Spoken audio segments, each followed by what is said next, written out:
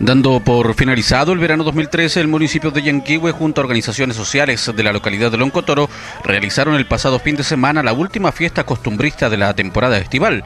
Con 21 stands gastronómicos, artesanías, muestras de rodeo a cargo del club de la localidad y un escenario que recibió artistas regionales fueron la tónica de los días de fiesta.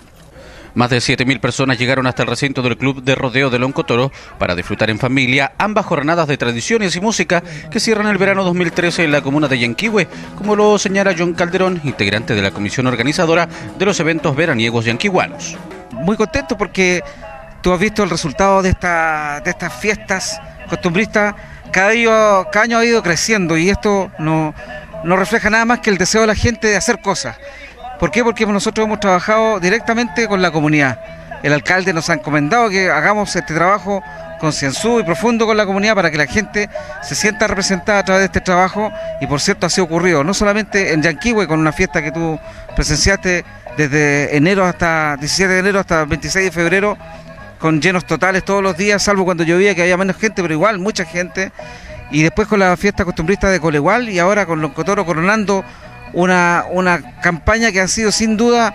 por cierto, muy agotadora, pero al mismo tiempo muy gratificante porque la gente ha logrado plasmar que en Yanquihue hay un verano que ya no está creciendo, sino que está consolidado y no tenemos nada más que eh, hacerlo, transmitirlo para el resto del país porque aquí eh, tenemos una fiesta que es gigante. Claro, eh, se van sumando a través de, la difusión también que se ha hecho en este año, los anteriores también, y se ha ido acumulando más gente. Eh, vemos a nuestras espaldas que todo lo que es la ciudadela aquí en Loncotoro está repleta, eh, un tremendo apoyo y un tremendo espaldarazo de toda la comunidad de Yanquihue. Sabemos que anda gente de Frutillar, de diferentes sectores de la provincia. Es cierto, la gente tiene ganas, tiene muchas ganas de hacer cosas, y Yanquihue tiene muchas herramientas y muchos muchos recursos arquitectónicos, paisajísticos, y tiene muchos recursos también desde el punto de vista técnico gente, sus funcionarios municipales,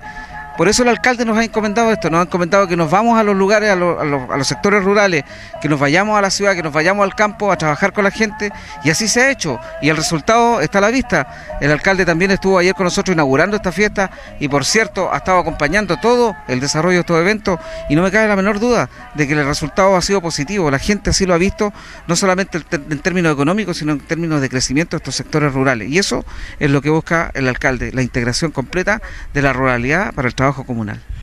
En esta oportunidad también se recordó a uno de los funcionarios que daban vida a estas actividades y que su partida ha sido sentida por el municipio y por toda la comunidad, Mario Tocol Calbún.